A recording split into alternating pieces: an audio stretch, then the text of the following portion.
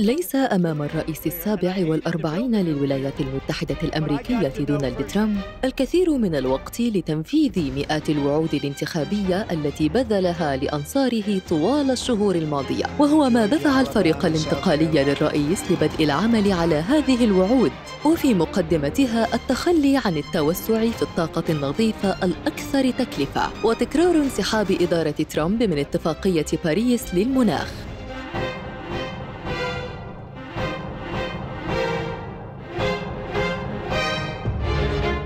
تمزيق ترامب لاتفاقية باريس للمناخ مجدداً يعد وسيلة مضمونة لتخفيف الضغط على الموازنة الأمريكية في مسعاه لخفض التضخم في البلاد وإنقاذ الاقتصاد من ركود تضخمي مرتقب وهو ما يرتبط بهدف آخر متعلق بخفض الفائدة لدعم الصناعات الأمريكية وهو هدف مؤجل لما بعد التنصيب الرسمي وقد يؤدي إلى صدام متوقع مع الفيدرالي الأمريكي.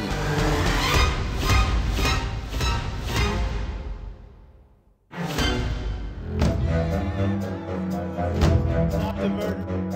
وأعد فريق ترامب الانتقالي أوامر تنفيذية وبيانات حول الانسحاب من اتفاقية باريس للمناخ للسماح بمزيد من أعمال التنقيب والتعدين. ووفق تقرير لصحيفة نيويورك تايمز الأمريكية فمن المتوقع أن ينهي ترامب الوقف المؤقت المفروض على تراخيص إنشاء محطات جديدة لتصدير الغاز الطبيعي وأن يلغي الإعفاء الذي يسمح لولاية كاليفورنيا وولايات أخرى بتطبيق معايير أكثر صرامة لمكافحة التلوث حتى أن فريق ترامب ناقش نقل مقر وكالة حماية البيئة خارج واشنطن في تأكيد على موقف ترامب المناهض لسياسات البيئة والمناخ.